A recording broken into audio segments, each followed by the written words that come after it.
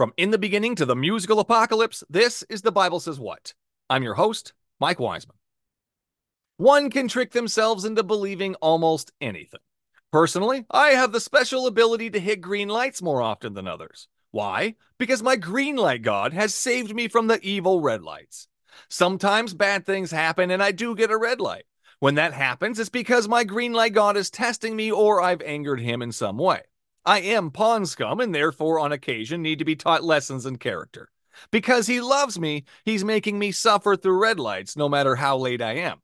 Perhaps he's teaching me patience or keeping me from getting into a major accident. My green light God is the best. It's a personal relationship with reality. If you want more grace through green lights, say these magic words with me and you too can be saved from the dreaded red light. Ready? Green light God, I understand that I am pawn scum and must be saved. I accept you into my gas pedal, allowing me to use it more often. That's it. There it is. You will now notice a change in your life. Maybe next time you're running late for your sister's funeral, those green lights will align ever so nicely. Let's start the show. Is there anything in the Bible that you yourself have an issue with?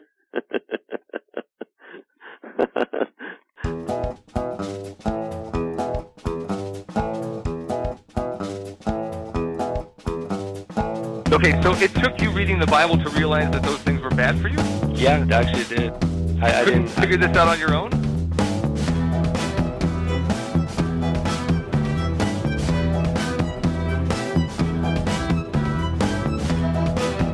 No, Ted, Ted Bundy could be redeemed. God doesn't kill children. Does, what do you think the Passover was? Yahweh sets up a whole system in the Old Testament where you slaughter animals just so he's able to forgive you.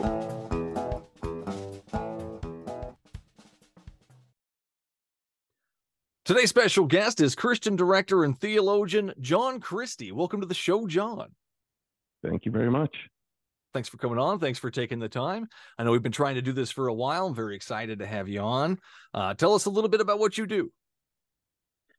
Um, well, in this realm, uh, going on now 10 years ago, I uh, made a Christian, not, not a Christian film. I made a documentary film called My Week in Atheism hmm. uh, with my friend David Smalley and I spent what started out to be a week turned into a year of um, shows uh, of his, you know, podcast episodes, as well as uh, debate discussions at uh, University of North Texas, at Skepticon, at American Atheist Convention, and it really was more of an exploratory um, film of me getting to understand and know atheism from atheists rather than you know through through my degree and stuff i've studied atheism read all the literature i've read all the the apocalypse men and all their books and as well as many many many more still reading to this day and uh but it, i wanted to get outside of the books and into the the people and so you know hear atheism from atheists and go that direction with it and um and so we made a movie about it and uh that was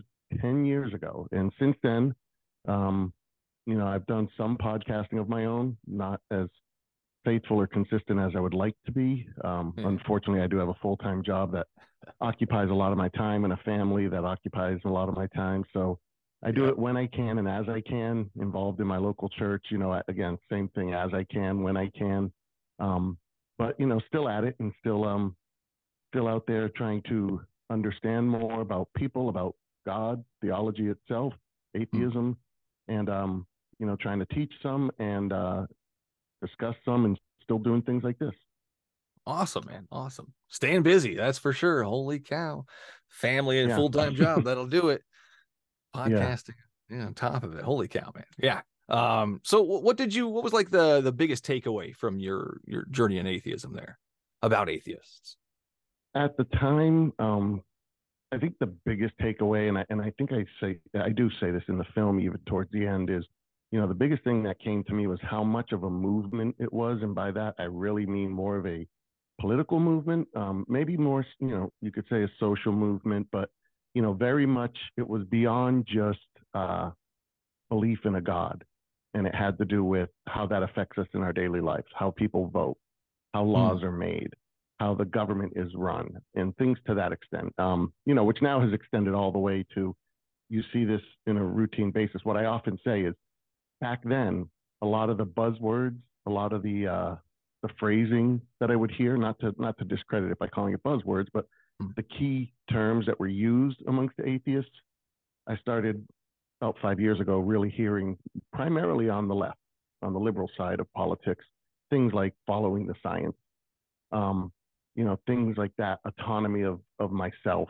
and different Hmm. phrases and, and catchphrases and stuff that you know I, I was like, wow, this is I've heard this all before, but it really struck me how you know looking back, um, a lot of what the atheist movement was telling me then has now become aligned with what a lot of the left politics are, and so you see really this what I say the the Christian right and the atheist left um, is really I would say probably how I classify the two. So Huh.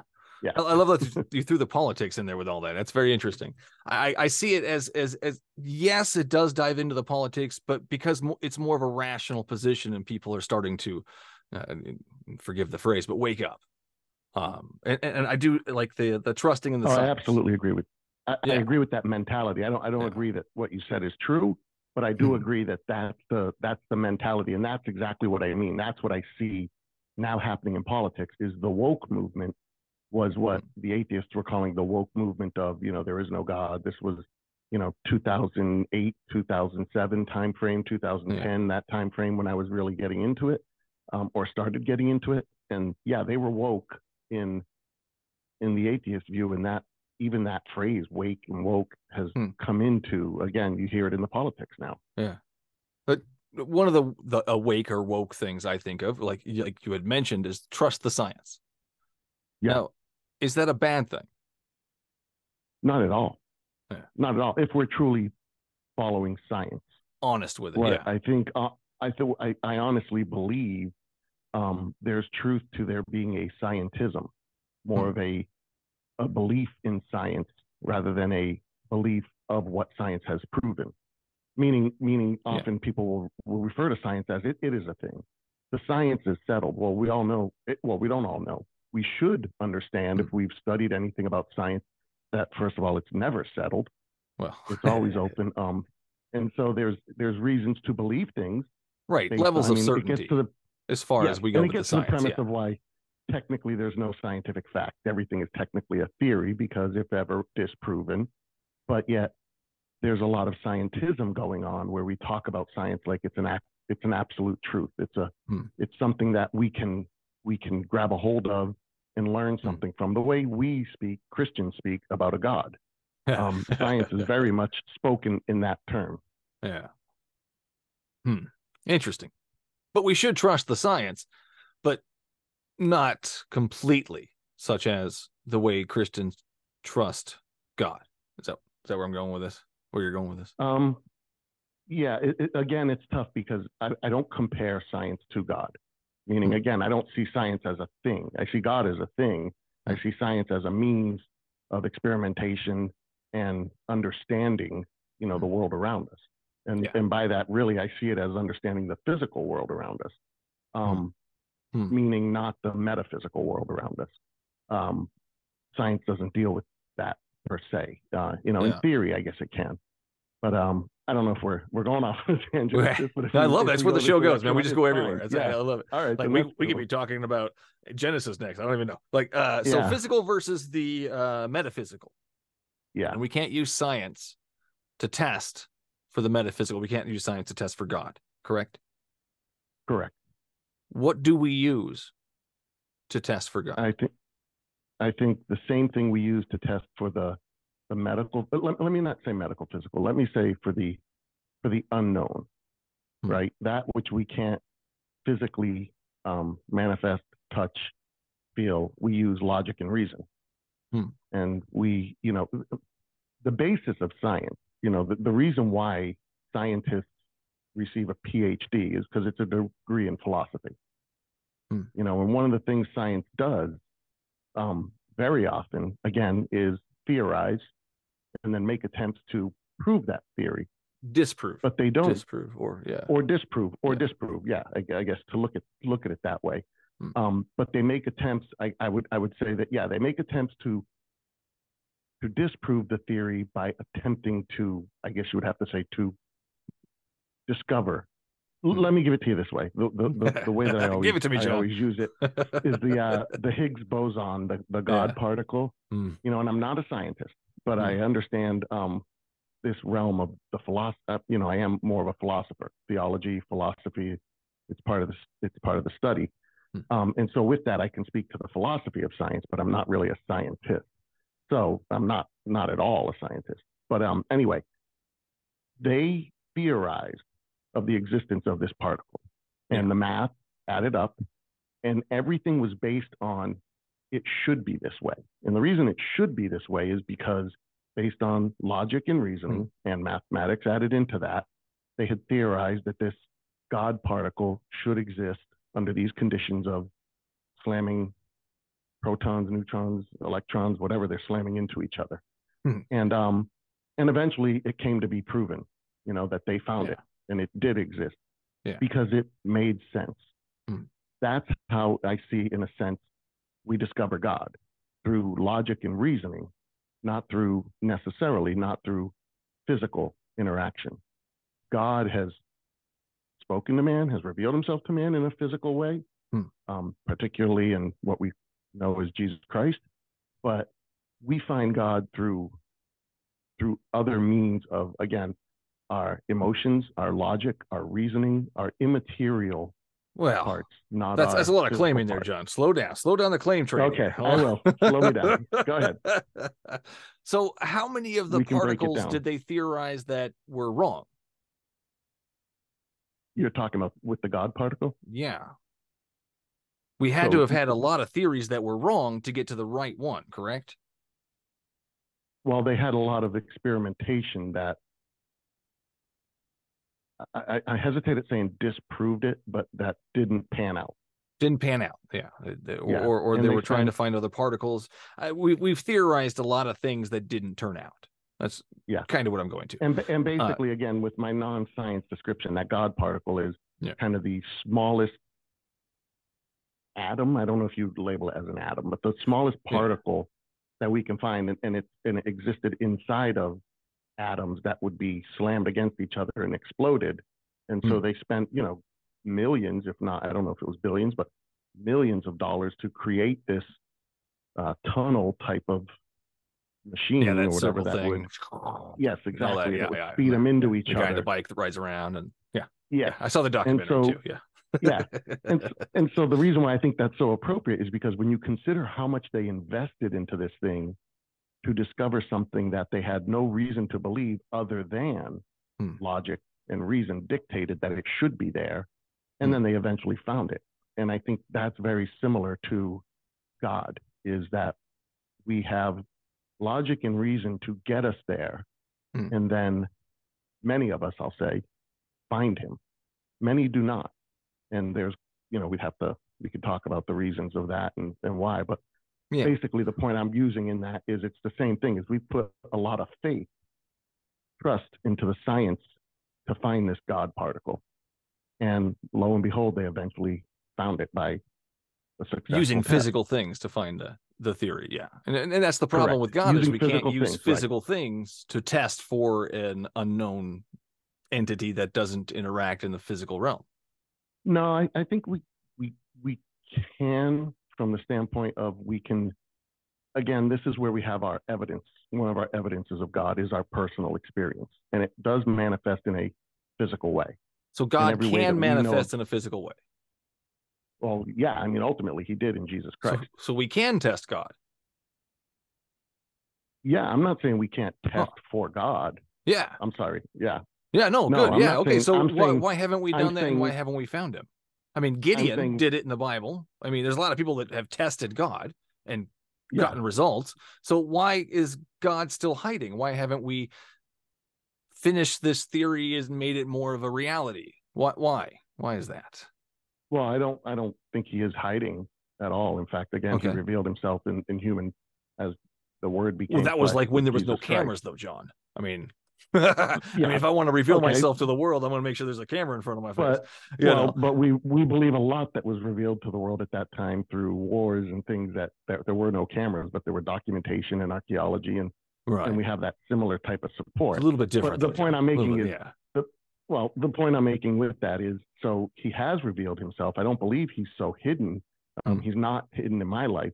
I know many Okay. people that I can talk about, and you can probably go around Not churches hidden. all over the world on a weekly Oh, yeah. basis and hear testimonies of how he's not hidden. I hear it all the time. and that's what all the time. and that's where I'm saying the physical does manifest the ev- the the the evidence of God does get manifested in the physical every the time problem, we John- have a life that's changed, a drug addict that stops doing drugs, and That's so different though, John. These are feelings and and and changes of, of of mind or ideas. This is not an actual physical evidence of a being doing something in reality. These are just people changing their minds. These are just thoughts No, it or or feelings. again on a. I would challenge that on a phys- philosophical plane to Hmm. say that at the end of the day, all an experiment is Huh. is an experiential event, meaning I do something and I experience something with my senses to tell me that that was true. Right. But The how do we test and I touch it and it burns me. Right, but how do we test Well, I- that to th- know that those those feelings or those senses are from a particular invisible person? How can we test that? that because when we have those life changing experiences, that is just as much an evidence, an experiential evidence as me touching a flame and it burning right but that finger. particular person being that is causing it whatever's causing that that reaction of the human being whatever's causing that Are that you asking to know specifically who that God is? exactly how that? can we test Okay. like is there a jesus test we can do to make sure that it's jesus causing these things and not kali ma And not or Krishna. spider-man exactly And, and not Krishna. Yeah. Yeah. I any of the millions of where that- gods that are out there you know i mean we Sure, made a red think- light god the other like a couple months ago so i mean there's, there's now there's a new god out there sorry yeah, and so I, I think where that would come down to is a a studying and understanding Hmm. of religions and their in a sense their evidence their texts their scriptures okay and a comparison and a judgment based on Uh-huh. those and i think when you do that and you and you go through that practice then you will see that when people trust in that scripture that evidence that test that they do whatever Uh-huh. and they call out to that God, that is what I would test. That's what makes it So- real.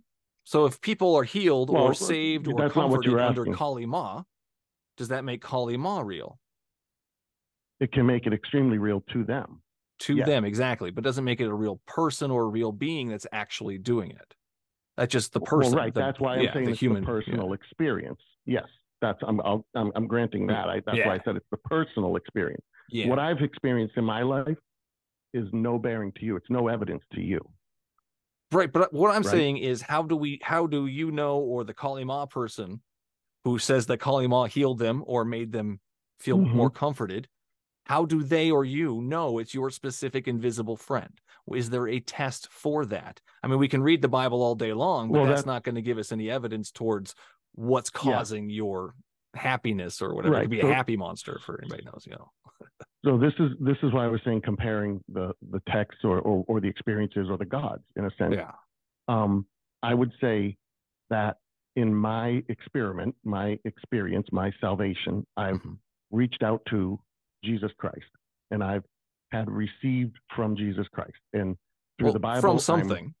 well, well, yes, but again, through that's where I was getting to through the text, through the understanding of who Jesus is, I have identified everything that I know to be that name, to be that God.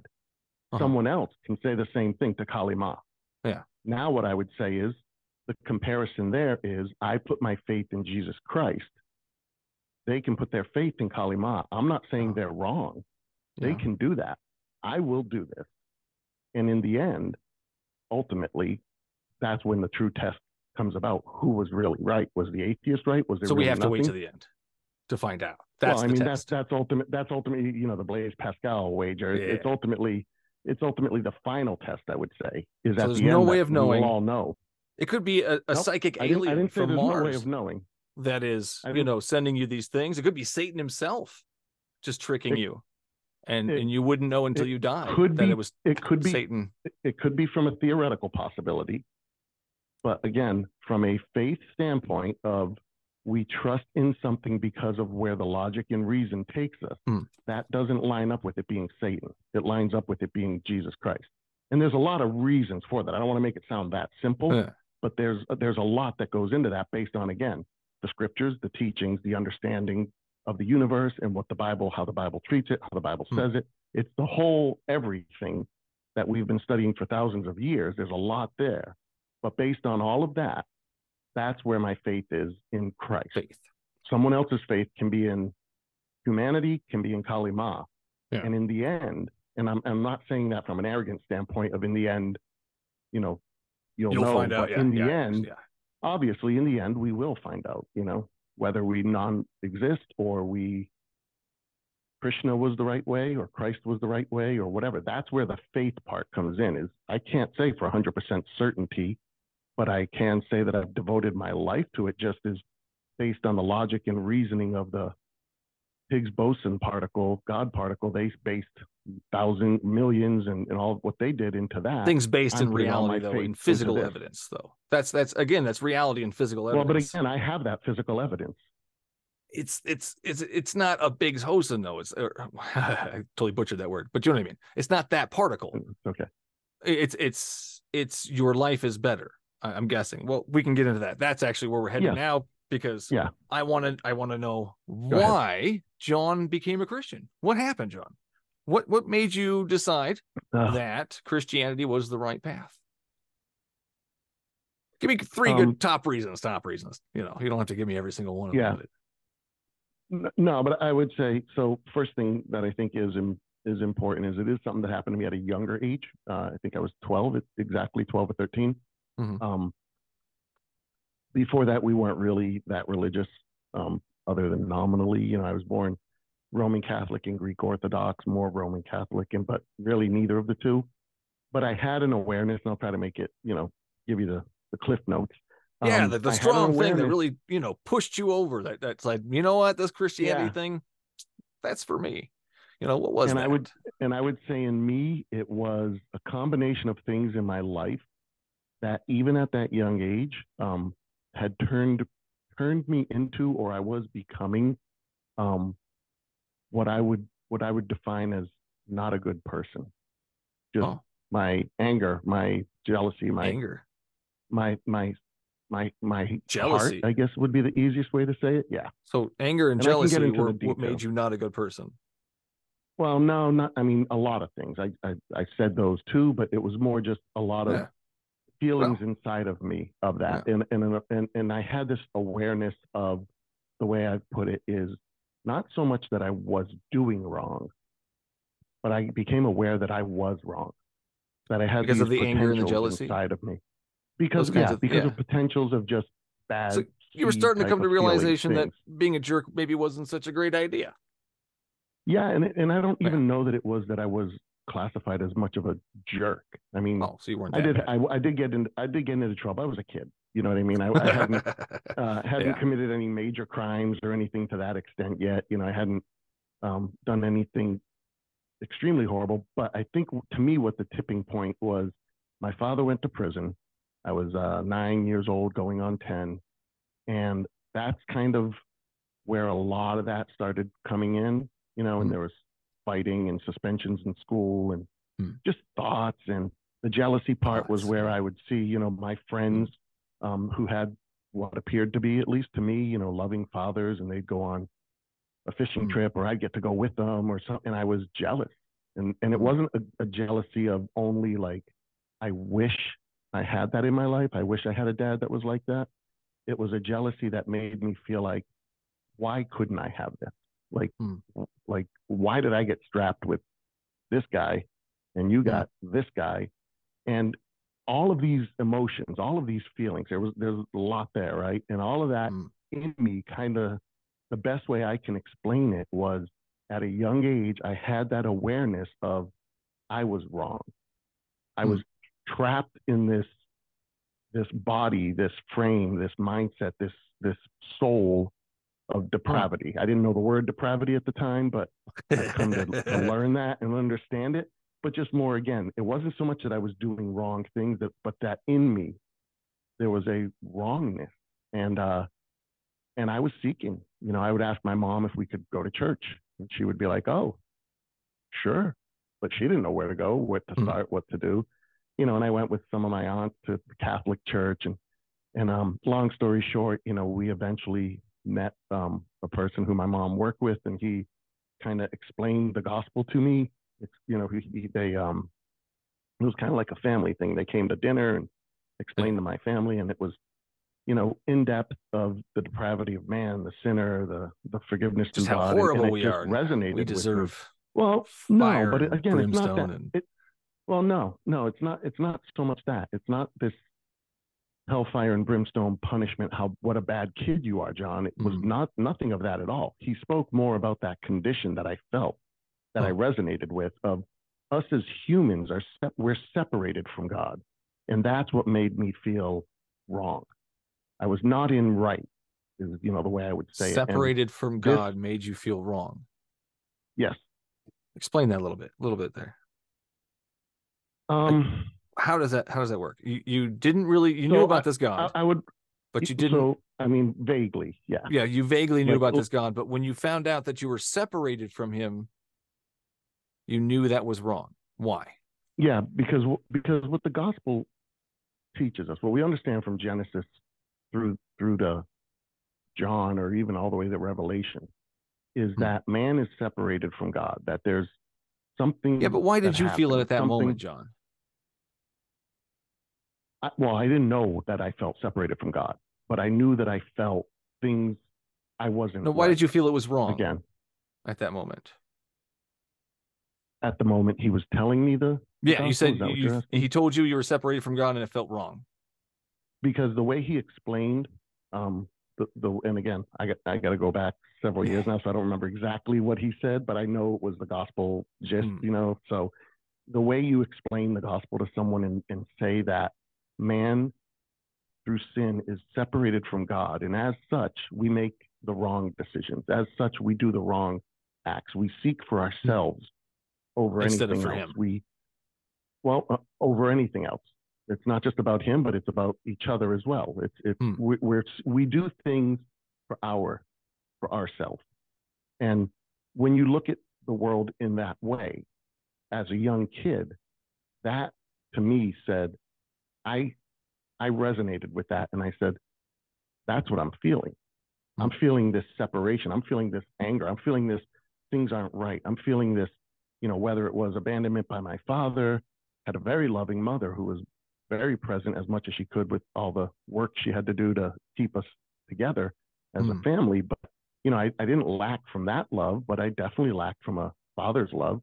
Um, I had that separation, and that separation resonated with the separation from God. And it resonated with the never met. emotions, the feelings, the anger. To that point, no. No, God, I never met to that point. But you felt But the it- separation It tripped, it triggered as if it me. was your own family. Yeah. Well, yeah. I, I, I mean, I, I, I don't know how much I can delve into exactly that, Hmm. but I think so. I think it was a because Do you think God sent you that I- feeling? Or the Holy Ghost or you know, whoever? yeah, I uh, I mean, I, I- it, I think when that happens in a person's life, the way I understand God, the way I understand this whole thing, I think it's when we take a step, He takes a step towards us. We take another step, He takes another step towards us, and He's coming closer and closer to us to the point where Hmm. once we get to a certain closeness, you can feel it. It's almost like in a weird way, I'll, I'll I'll say it this way: if you've ever seen those TikTok videos of the kids who see their father from or mother from, uh, you know, they come back from war and they're No. at their school Yeah. play or something like I'm sure that. it's great and then, though. and then they, you know, they don't know the parents there, and they're and all of a sudden it kind of focuses, and they're like, oh my gosh, that's my father, and they go running towards them. That's the way I feel. It's like we get to a point where it's like Yeah. it starts off as a step of I'm kind of seeking. Hmm. I'm not sure what I'm going for, and, and as God draws closer and we get closer, all of a sudden it clicks. That's Interesting. that's it. That's who I wanted. That's what I wanted. And that's the way I felt when he was talking. And so then, you know, he says, Do you want to pray and accept Jesus into your heart and all these types of things? And not that it's a magical formula.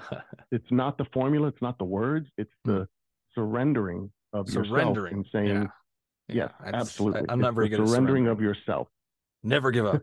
Never Well, surrender. Well, I mean, that's, but I did. uh, I did that whole talk to God thing. I did that whole "Hey, come to me, God, show yourself." He never showed up for me.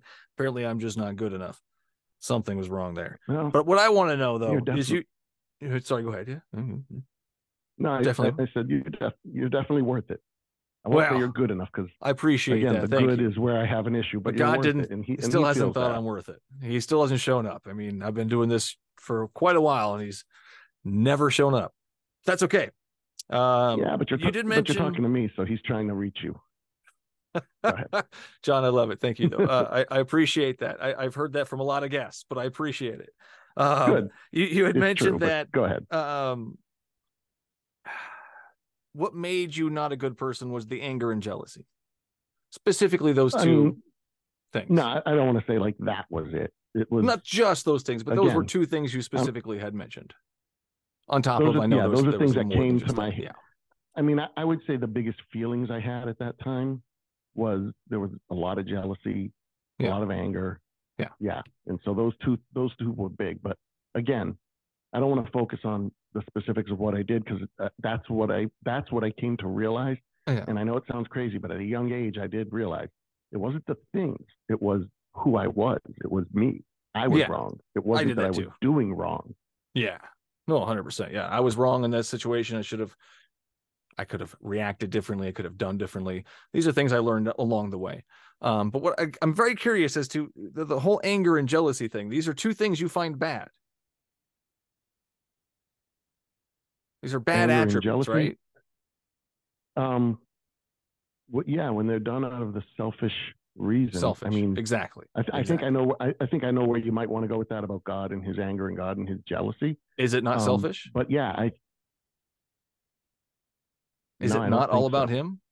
Is his jealousy because other people are worshiping other gods? Does he get jealous when other people worship gods that aren't him? yeah. That's that's And he gets angry, and that's very what I was self-centered. It's selfish, John. Well, but no. See, that's the thing. It depends on the Why is it not of the thing. selfish? Because if I'm selfish for a good reasoning, meaning That, okay, that's not a good reason, some- John. Praising oneself is not a good reason. Well, well, hold on. You you didn't let you, you didn't let me answer it. So okay, so so they're not trying to use an example. I'll I'll deal with something specifically in those situations. If I'm a jealous God, if I say I'm a jealous God and I don't want you serving other gods, the reason behind that is not because I need you to worship me. It's because you're going after a false god that will lead you to destruction, and Who's you gonna will destroy them? eternity themselves. They will not kill themselves. God will do the No, they will not- punishment. They God not is the one who themselves. lashes out irrationally when they do th- worship other gods.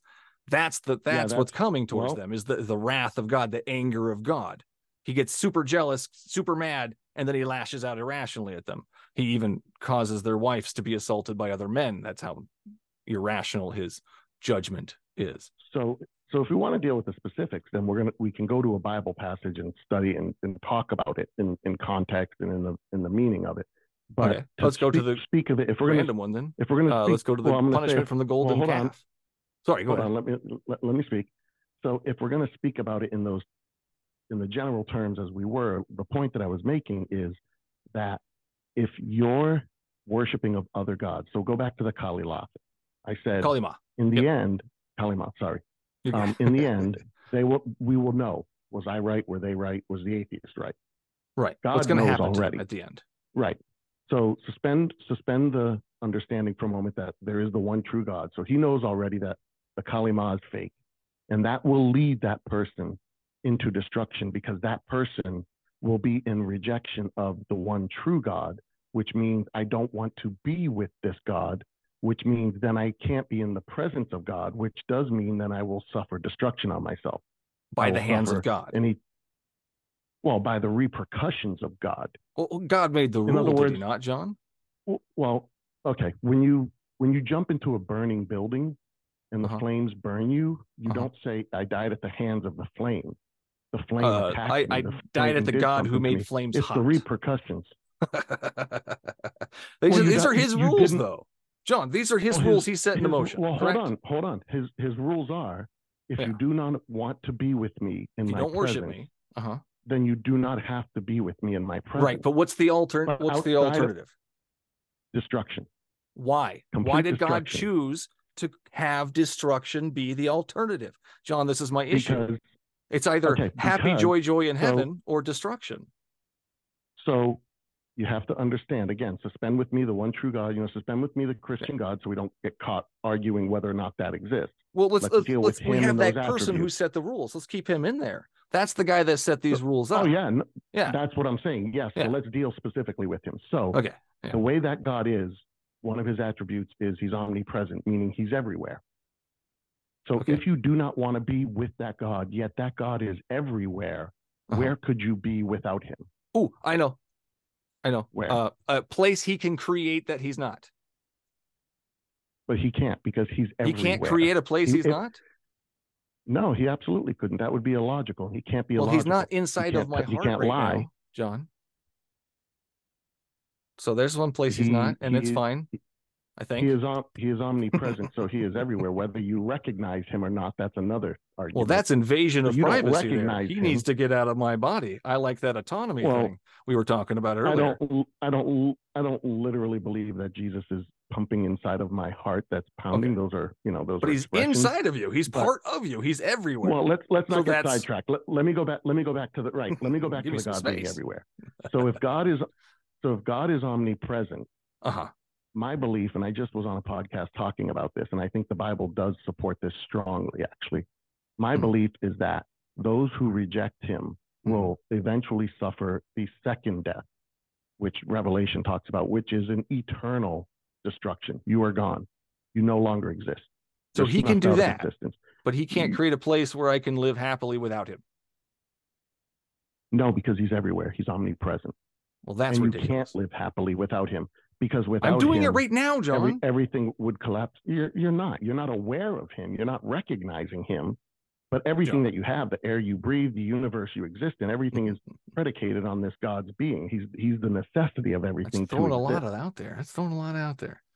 That's a lot. is, That's a lot. I I, I kind of rely on the, the point- trees the for my breathing, though, John. that- Not your personal invisible guy over there. that would, know, if I did, hold on, Well- Jesus, stop the trees. I'm just going to rely on you. You know, that's not. It's not a good idea. Let's not do that. Um, No, Yeah. but I, I think you're smart enough to understand though what I mean by the breath and and again, he's just, he's a sustenance of the universe. that makes no He's- sense he's though. What everything is. Okay, so the only thing I can think of sense. is there's a character uh, in Marvel. I think his name is Eternity. He's like essentially the universe, and like the outline of him is I'm not aware of him, but yeah, person, and like the inside of the universe or something. Is that kind of what it is? There's this. He's everywhere because he is Well, I- I- help me Um, understand this. You're trying to well, you're trying to apply a physical to That's again, how this works. God, God That's- is I can God only work in physical. reality. No, no, because the way that you're the way that you're trying to process the information is not Yeah. a physical thing. It's a metaphysical thing. You know, logic and reasoning is not part of the physical. It's beyond the physical. It exists Mhm. outside of the physical. Anyway, um, so I don't know about that character specifically because again, if that's a physical person, what I'm saying is Mm. God is spirit, so God is ever present. That's one of the characteristics we claim. I don't, yeah, but it doesn't make sense only though, to way- me. How does that work though? How is like, oh, you see, it just it it hurts my brain. It, so Okay, God is use, everywhere. Use energy as as an as an example. God is energy just is everywhere, correct? Well, energy No, is a thing we can test You put the again. That's just in. physical, Yeah, but what what but God's we, not. what we don't understand is number one what energy is, and we don't have a physical representation of energy. We have manifestations of energy. We have way more representation of energy than we do of God. Uh, I, think that. well, I don't know. I mean, I, to be honest, I never looked into that. I was gonna say it's debatable, so I guess it's debatable. But again, it's debatable, but we're go- sitting here using if you, electricity, if you go and in- I can if you go, actually feel the effects of energy. Yeah, So- but if you again in my life, it's as present as the electricity. So I would say for me, you But John- not recognize it, and that's the big deal. God doesn't power your house. paying- No, but God has provided. Again, Him being the necess- necessary, Something has entity, provided, that necessary, and you've given it. He Jesus, He has put all it. things in motion. He's provided everything. He's the immovable mover.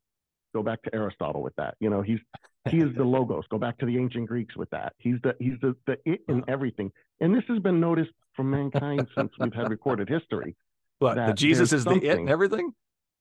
No, John John told them that, but the Oh. Greeks said there is an it in everything. They called it the logos, Hmm. and and it was the Wow. it was the something. They couldn't They put also their all went fingers on it. crazy and you know their drinking water was Well, poisoned. well, but I mean, we we attribute We- a lot of what we give know them too much nowadays to what the Greeks did. Well, we give them a lot of credit. I mean, we can't. Slow down a little. they still shit in public too. I mean, Well, anyways, that's a whole other topic. unfortunately, I've been to Greece and I've seen some of the ancient, yeah, It's just ancient weird. cities. I love it. I love it. Would have been interesting to see I didn't say they had all the answers. No, yeah, definitely not. Oh man. Okay, so anger. Let's go back to God's anger and jealousy. Okay. Uh, Is is there a point in the Bible anywhere you see His anger lashing out that you have an issue with? Oh, yeah. There's things that I look at and I say, wow, you know, that is that is harsh. S- Such as, is there one you can think of? Um, yeah, there's there's a few. I, I would say primarily, even though you know I can understand the reasoning why it, and because the Egyptians instigated the killing of the firstborn, God still killed their firstborn. Even though the Mm. Canaanites instigated the killing of the children and the, the old and the weak, God still commanded us or commanded Israel to go in and kill their children, their weak, their everything. Yeah. You know that level of um, let's call it retribution, eye for an Mm. eye, is very harsh. But again, there's a story here from Genesis to Revelation that tells a broader picture of things. And one of mm. the things you have to see in that is Paul sums this up in Romans 7 perfectly when he says that the wages of sin is death, but the gift of God is eternal life through Jesus Christ. And this is what the Old Testament is primarily teaching us. And we know this because this is exactly how Jesus revealed it is you want eye for an eye, but what you need to recognize is you're just as guilty as those that you're attacking. So God used this period of time to reach man, to get man to understand, as Mhm. Paul again says in Romans, that the purpose of the law wasn't so that we would keep the law, it was so that it would reveal to us our sin. So Hmm. these things that God do- does in the Old Testament, he doesn't change in the New Testament, but it was a means of reaching man, of telling the story. And people can say, well, that's being a little flippant with human lives and different things. And Absolutely. you know, we could go down that. We That's could go down that topic and and talk about, you know, the Canaanite children and, and we would not choose that way. John. what would happen to them. absolutely. We, we both we both have a problem. You have a problem with it as well as I have a problem. yeah. but you justify have- it. That's the well, difference. what I what I do is not justify it.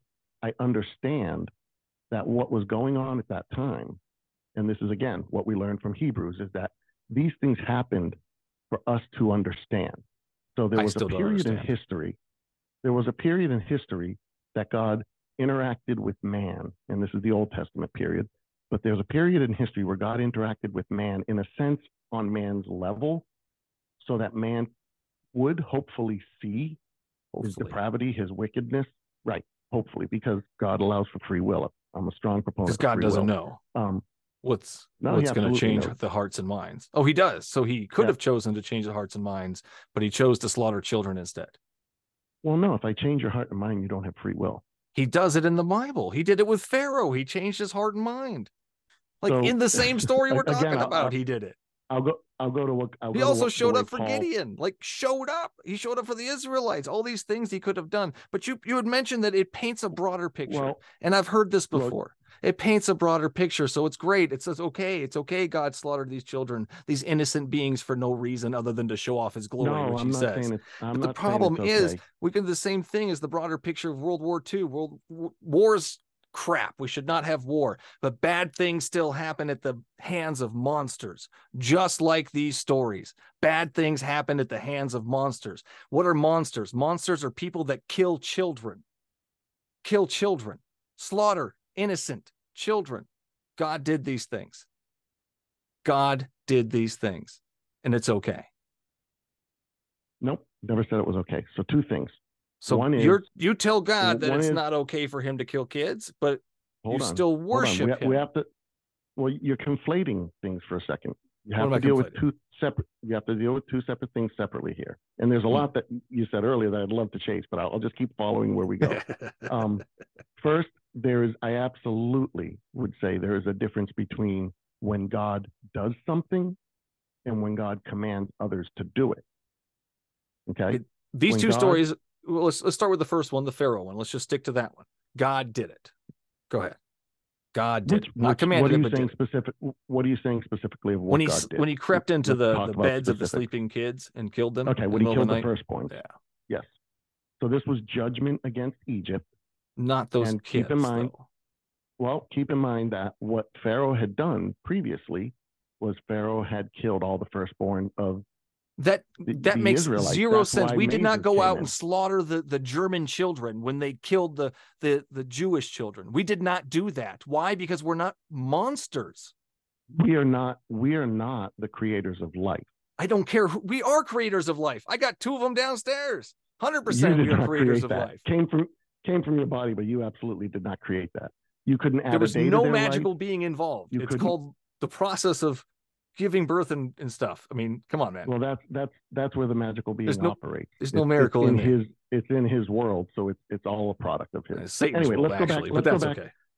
let's go back to it because if you this is the area where you know apologize if i'm about to piss you off because i've done it several times to, to You're not going to do it. It's really, really difficult to do. But go ahead. okay good good so let's let's chase this because again dealing with it on a philosophical level if you think of the situation that the christian god represents which is that in the moment you pass the moment you die you are either present with the lord or i'm not sure where you are at that point but you're i don't know let's just say you're in a you're in a darkness of sleep or something right Okay. now, what we understand about children from the Bible is that they Hmm. are not Hmm. guilty immediately on birth. And I disagree with any preacher that will say that. Several Well, I mean, but spe- We've got the Bible that says Deuter- as soon as you're born, you're sin. You're born sinful no, is that not no, right? doesn't. It says it says I was born into. into There's sin. Yeah, because this world is sinful. So you're born a into a sinful world. You're born sinful. But God, That's what that God means. specifically, but God specifically tells the Israelite in the beginning of Deuteronomy when He tells them that you will not be entering the promised land because of your disbelief, because of again the golden calf and all that. However, your children who do not know between the right and wrong, the good and the evil, they will enter the promised land. We have this thing in the Bible that's present of an of an age of, of accountability. So I don't you see can it. say this what is how I verse says age it. of accountability? Is there a, a it doesn't specific it doesn't say age no not age of accountability but i'm saying no specific we age. call it that yeah, Yeah. we call it that I, But I don't there's nowhere in the Bible that says where that. it would be well no but there is passages in the bible that let us know that children at an are at an innocent Hmm. an innocence at a younger age So, in other words, I, they I, haven't- if strongly think- disagree with you on that one. way. Go ahead. I, I strongly Okay, disagree, if- but go ahead. if you think if you think of it this way adam and eve were created Mm.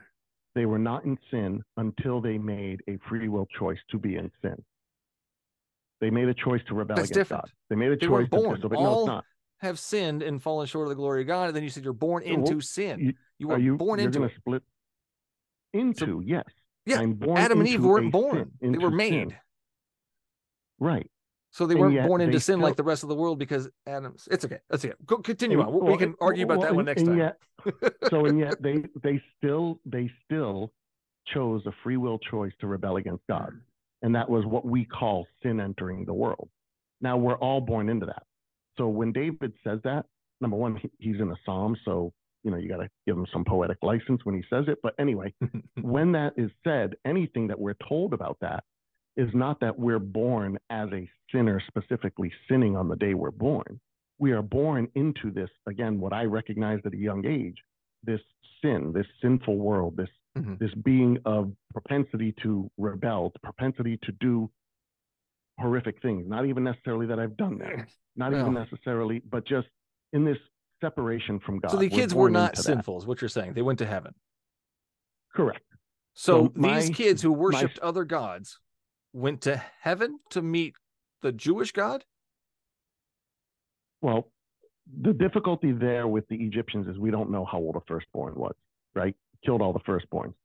So we are going to to guess say it would from have to be on a case by case. zero to 100 Right. Because it's an entire city full of people. So you're going to go from zero to 100 there's a thousand and one percent chance there's going to be children there. God Yes. 100% killed children in that situation if that is true. Yes. yeah. So so so let's focus on that part. Those Okay, kids So those that would be younger, yeah.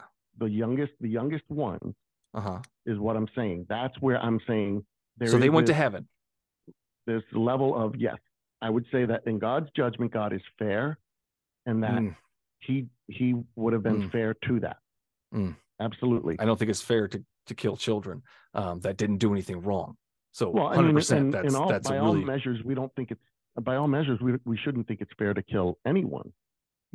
Right? you just I said it was fair though No, I'm saying by all measures, we shouldn't think it was fair to kill anybody. Yeah. So God did that. think, he killed them and then they went to heaven. So why so do you have a problem with abortion? Yeah. Okay, so oh, why they're going to heaven? Again, because what you're doing is you're you're you're putting God or you're you're either putting God on our level or us on his level. And How do you know I'm this is not is part of God's plan? it's- it's different to kill innocent children yeah, God does it all the time. How do you know this is not part of his plan? Because he literally commands that in the Levitical laws that we are not supposed to be doing that. And he makes that point Not supposed to kill children. Well, he Isaac commands people to kill children like the that of others. And then he does it himself. So I mean, how do we know that this isn't a command or part of God's plan? How do so, you uh, know? so again, let's let's not deal with us and what we're doing. Let's deal with God and what He does. God because is, again, is in this world things. right now doing things, correct? Correct. So how you do you know creator it's life? not him? What is not Him? I'm not following. causing How do I know abortions to happen causing abortions to happen god has Because caused being- abortions on, to happen in the that. bible god has drowned children starved children he he's he sent people to slaughter You're- children yeah, you're, so again his track record is is you know on track here so how do we know god is not doing all of this abortion let me let me answer your specific or question. behind it How do Okay. I know God is God is not doing the abortion? Is because yeah humans humans walk into a clinic where another human performs the act. but god is everywhere god is influencing decisions god is But interacting in God the world isn't doing people every, okay. See, this is a common mis- misnomer that atheists have, and, and and I don't know if it comes from. There are Christians that believe this way too, so I don't know where it comes from. So I won't say just atheists. tell me where am i wrong what is i wrong he There's there's n- there's nowhere in the Bible that makes it out that God is pulling all the strings of everything happening in the world. In fact, what you see is the complete opposite when you look through it, the entirety of the Bible. so God god's not in control in motion. Nope, didn't say that.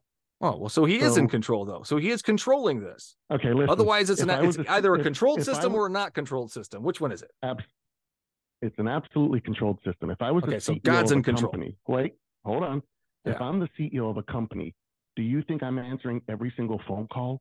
Am I designing every single ad? Am I? Well, you're just human. You're not able to. Am I God doing is able to. everything? He's all he's But all God can- powerful. But God chooses out of His Oh, power. yeah, if He wanted, well, yes, of course He chooses because He could be all powerful to make us robots that forced love Him to do everything He acts. But what is that? That's not a relationship. nobody's asking That's- for that. I'm just asking him to show up and and, and Well, you this is this is this is this is the world that God created. Is He created a world that gave us an ability to govern ourselves, to make our Oh. own free will choices. Did he know the choices we were going to make? Or new, yes, So God knew the choices or knows the choices we're going to make. Yep. Correct. Okay. yes. Does God does interact create to to help us make choices? I think He's I think He's interacting every day.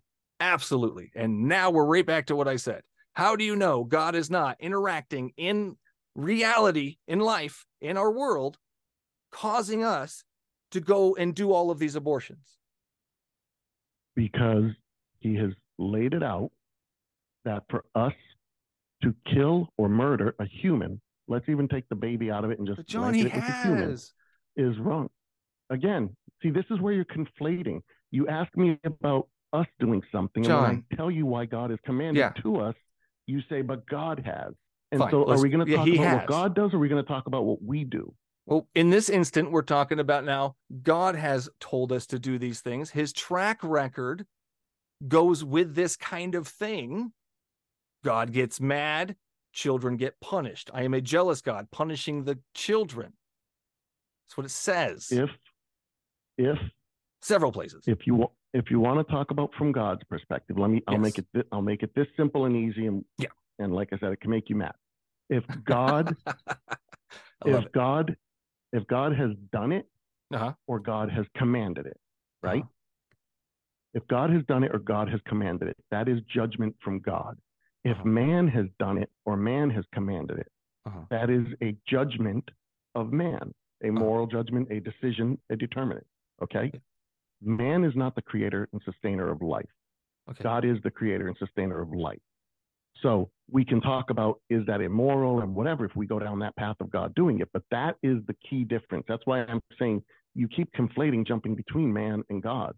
If God does it, God is the creator and exist and, and sustainer of life. He is Right. he is the one who put it all together. He Right. is the one that determined. And this again, you see with Jeremiah in the in the clay pots of who are you, clay, to tell me the potter that Yeah, you haven't made me right or haven't done Very haven't done these things. Well, He thinks he's really yeah, great. Obviously, that's the way you see Yeah. it. That's the way He thinks he's it, really but great. Come on, but man. You know he thinks he's really big- great. He says about it. There's a big about it the story there. So when we go to Leviticus 21 well, 9 in specific, If he's if he's everything that's sorry. defined, he is absolutely great. well, so yeah, he does know he does know how great he is, and he's aware of the fact that we need to recognize that. Otherwise, again, we will be separated from him in eternal destruction. his choice, That's not mine. the punishment. His from it. Not his choice. It's the byproduct. You don't want to be. Oh yeah, sorry, sorry. His in, incapability everywhere. of creating someplace that he's not. He's incapable of doing that, so now I have to suffer. Thanks, God. You you have to not exist. You have to be gone. Yeah, thanks. Thanks again, You, God. you, you do not. Well, you do not want to be in his presence. right. So I can't exist because I don't want to be in his presence. What a jerk. Right? Because because where would you be? Somewhere I mean, else. think, think about think think about what you're what you're saying right now. This is John, think about what you're saying. you. Your loving God refuses to create some place he's not so I can exist without him. He would rather me just be destroyed. What a jerk. You're saying I want to be. I want to exist in an existence that God is everywhere, but I don't want to be with God. Do you not see how not what I illogical that I is? want to be existing in That's some place where he's not. Can I do that? Right? Can I do that? No, because He is not? everywhere. Because he cannot create somewhere where he's not. A negative zone. Give me a negative zone. Come on, don't- okay. God. You you serve a very me- interesting being, John. He's very me, interesting. To me, that's a very simple, logical thing. If something exists everywhere, how can you Hmm. be where it isn't? You This is that also very simple, John. He is all powerful, can do anything he wants except make a place where he's not. Because it's illogical. He can't be illogical. If he was illogical, he couldn't be everything that he is. You're asking for him to make something.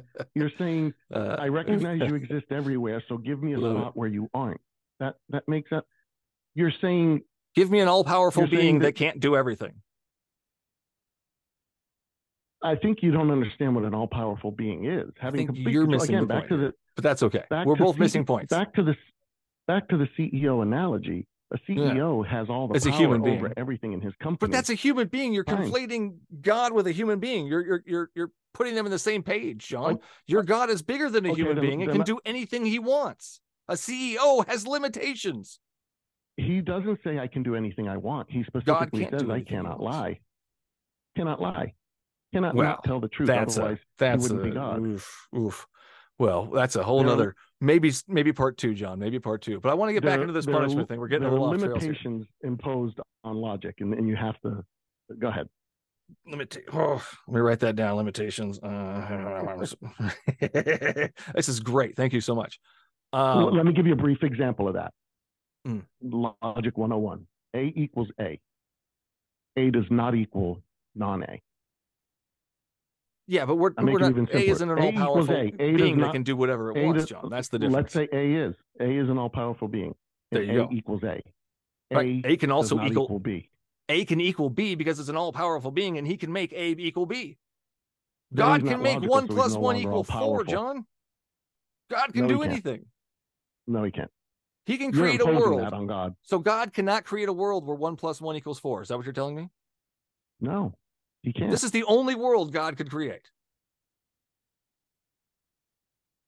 I don't know what you mean by a definition of world, but what I would say is in Reality. any existence anywhere, Existence. the laws of physics still have to So apply.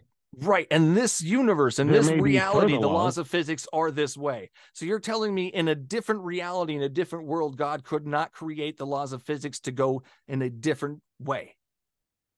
He couldn't contradict the laws we have. Not in this world.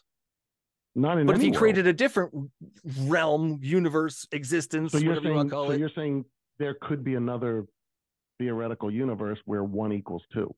John, we're talking about an invisible man that gets angry at children. So Well, and that's why I'm telling you, if, You know, if we're- everything we're- we're in a very interesting world. logic, as is. if everything he does is predicated on logic, on reasoning, on his omnipresence, his omnibenevolence, he's always good, he's all knowing, he's all powerful. If it's all of these things at once and simultaneously, then no, it's not possible for him to create a universe where one equals two. It's also not possible for him to make a judgment that would be immoral. And I'm it's not also not possible for him to slaughter theory- kids in their sleep and be all good. You can't slaughter you kids in your not- sleep in their sleep and be all good. You can't be both, John. he he passes judgment and in that judgment he is making the right choice otherwise he is not the god That's- that we think I'm he telling is, you or right that now, I John. think- or that i think he is Slaughtering And- and children that is not that the right choice. the judgment of god is what we're dealing with you're And I'm calling it telling the you, slaughtering of children The slaughtering of children i understand not why, the you're, right why you're saying it Yeah. that way but Yeah. but let's just say it's the let's just say at the time when it was the well okay the slaughtering of children you're talking now about the canaanites because we don't know about the egyptians they weren't slaughtered they were put to death they may have fallen asleep and they wake up in the presence of god we don't know Well, and that's the point that i hmm. try to make in these things is as the atheist you think he killed you know you I know think he you killed them, the John. That's not the problem. The problem is he No. killed them, John. but That's the, it. the problem End of story. He- prob- Killed them. That's the problem. the problem is the justification behind it There is no justification ju- behind it. okay from your perspective John, what the justification you, you- give me really doesn't. It's not a really. You even. It's not even convincing to you. I'm not expecting to. I'm not expecting to convince you.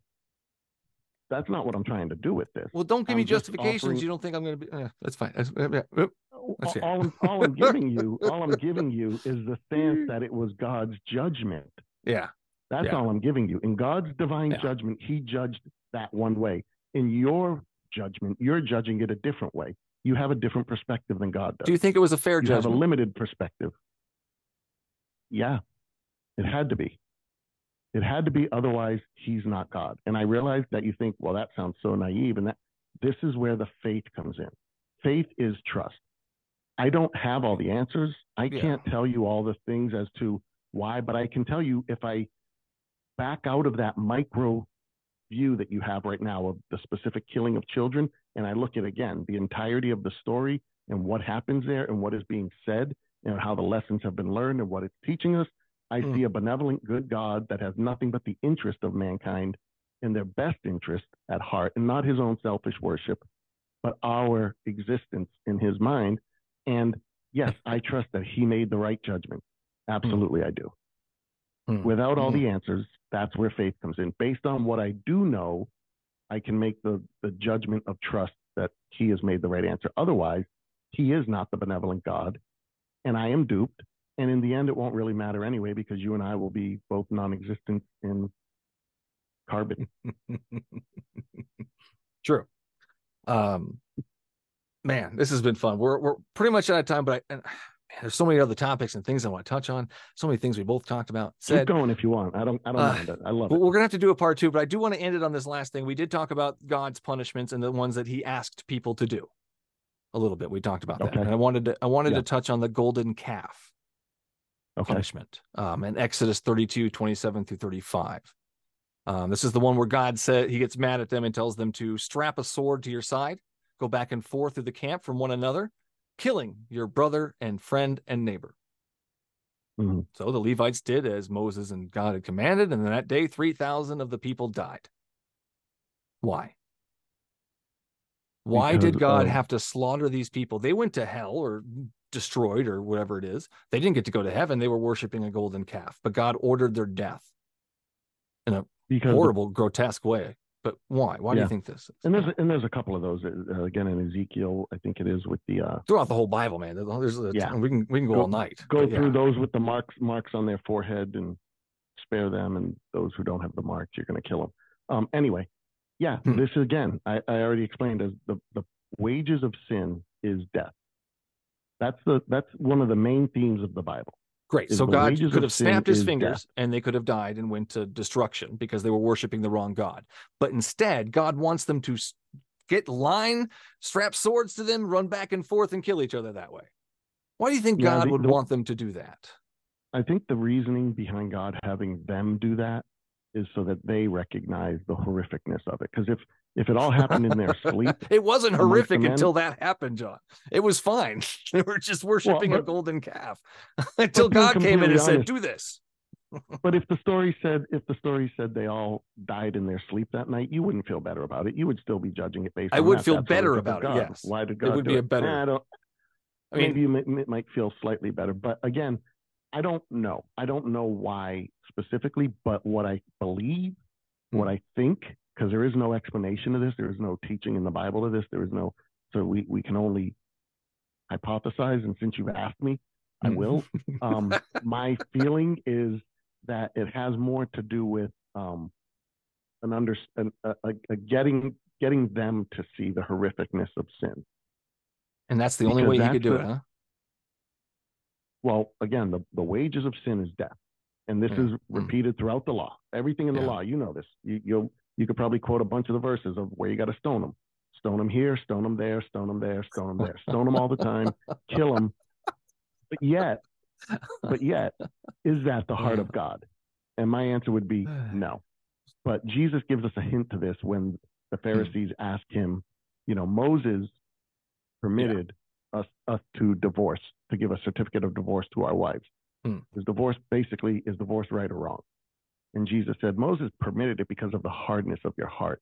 So all this again starts with the hardness of man's heart and God trying to show man how the heart, as the Bible says, Trying. is wicked above all things. yeah. And that's what the Old Testament is laying out. It's horrific from that yeah. standpoint. Then This is Jesus trying, comes on though. the This is- I wouldn't try like this. If I'm trying to explain something to somebody and the horrificness of it, I wouldn't say go strap swords to your sides and kill each other. Well, Now you understand how horrific the sin is that you've created. I mean, when you create a universe, you can Not make very logical. decisions. yeah, You know, I, I would be a little more logical and, and and friendly. That's for sure. Well, But John, this well, has you been wouldn't it. have. Go ahead. ahead. Okay. No, I you wouldn't have. make a comment. I was going to say you wouldn't have logic in your universe because you can't have it without Ah, God. I so love it. I love it. Thanks, John. no, this has been a blast. a- you know, It, yeah, no, I love it. In the spirit of things, man. In the spirit of things. Yeah, No, yeah. we, good conversation. I can't wait to do this again. Definitely have to have you back, man.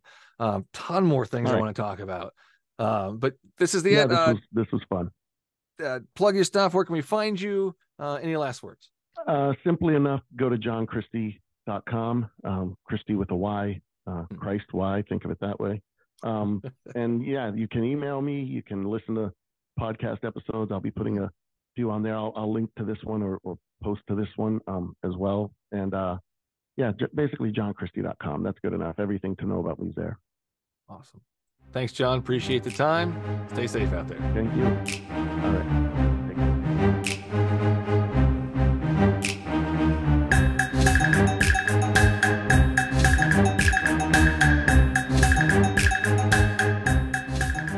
That's all the show there is for you today. Thanks for listening.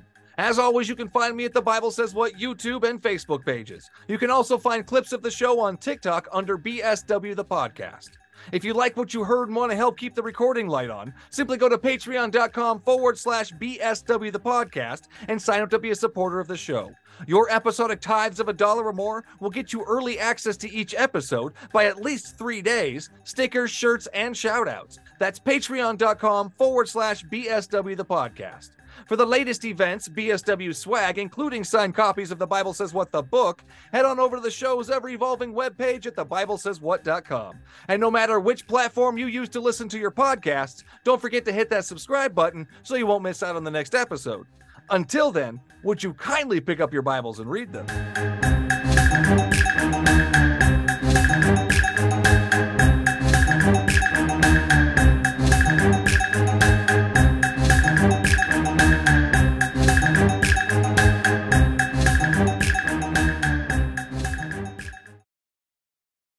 Next time on The Bible Says What.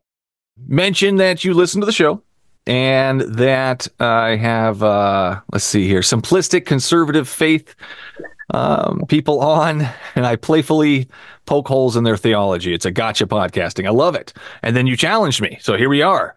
Let's see. Well, debating yeah. with uh, uh, theology that isn't a straw man in my worldview. Uh, recommend some people. Hell, I'd even be willing to come on. And here we are. Dan, yeah, the man. I'm, I'm regretting that last thing I said on there.